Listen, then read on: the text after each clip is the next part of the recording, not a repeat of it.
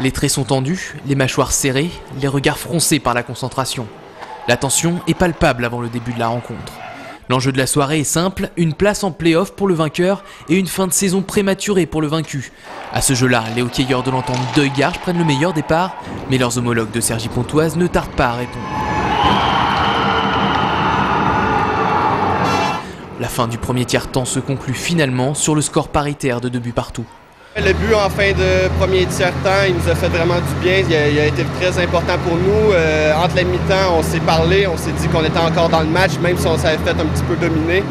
Mais euh, par la suite, on sort le, deuxième tiers et puis euh, c'est là que tout a commencé un petit peu à changer de côté, vraiment aller mal pour nous en fait.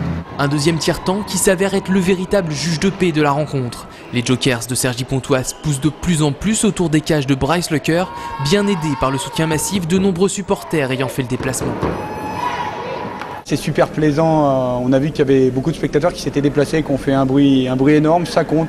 on, les entend, on les entend vraiment, surtout dans les moments difficiles. Quand ça pousse, ça nous aide à nous remettre un petit coup euh, sur les bons rails. Et euh, ben, quand ça va bien, ça nous donne envie d'appuyer un peu plus encore.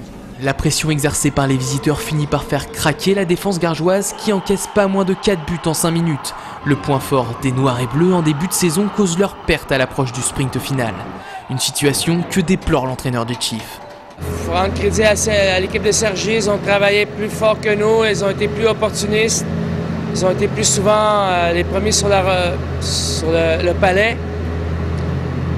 Euh, on a manqué, euh, manqué d'influx. Je sais pas, on a fait beaucoup d'erreurs défensives qui, à ce temps-ci de l'année, ne peut pas se permettre. Dès le début de la troisième période, les attaquants préfectoraux inscrivent deux nouveaux buts pour clouer définitivement le sort du match.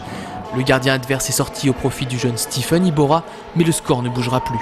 Je pense que le gardien, il, a dû avoir un petit coup de mou au bout d'un moment. Et après, je pense que le mental, il a lâché et on a pu en planter plusieurs. Et puis on a quand même pas mal poussé, on a eu pas mal d'occasions. Donc euh, on se devait d'en rentrer euh, un maximum. La fin de la rencontre est tachée par de nombreuses pénalités et un début de bagarre.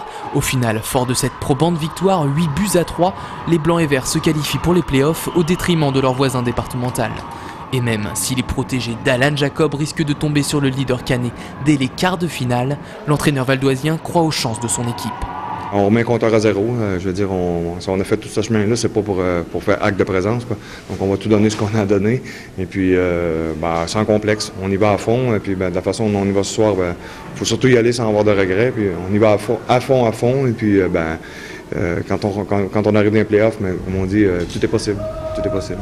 Samedi prochain, les deux formations valdoisiennes disputeront leur dernier match de la saison régulière. Sergi Pontoise recevra la redoutable machine brestoise pour se mettre en jambes avant de disputer son quart de finale. De son côté, l'entente Deugarche tentera de conclure sa frustrante saison sur une bonne note dans la patinoire de Courbevoie, avant-dernier de Division 1.